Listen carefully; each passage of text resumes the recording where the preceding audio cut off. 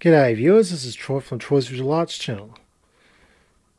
I've decided to assemble this camera as quickly as possible. So here it is in its um, makeshift complete form. Which everything's all assembled, lens, disc inside, LED, uh, light dependent resistor image pickup device motor speed control and um, light dependent resistor um, video preamp circuitry. Anyways um, yeah I decided once again to borrow from my first uh, set. Once again which I borrowed the motor speed control circuit off.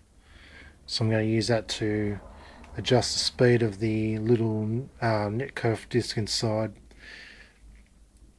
I don't know how it's going to work though because because um, that circuit's made more for the larger motor used on the on that set over there but we'll see how it goes.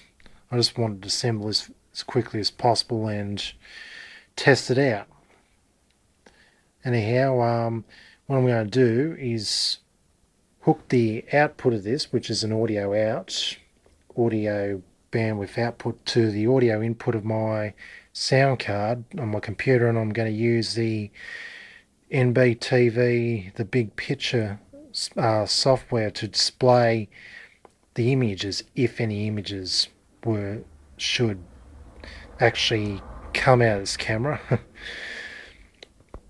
Anyway, um, I can only test out and see how it all goes.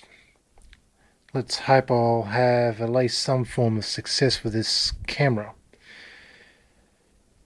Anyhow, so there's my camera in its makeshift complete form. I will of course be uh, refining it should I need to. Um, well, I will be anyways. But for now, I'm going to test it as it is right now. And yeah, wish me luck. This is Troy from the Troy's Visual Arts channel signing out.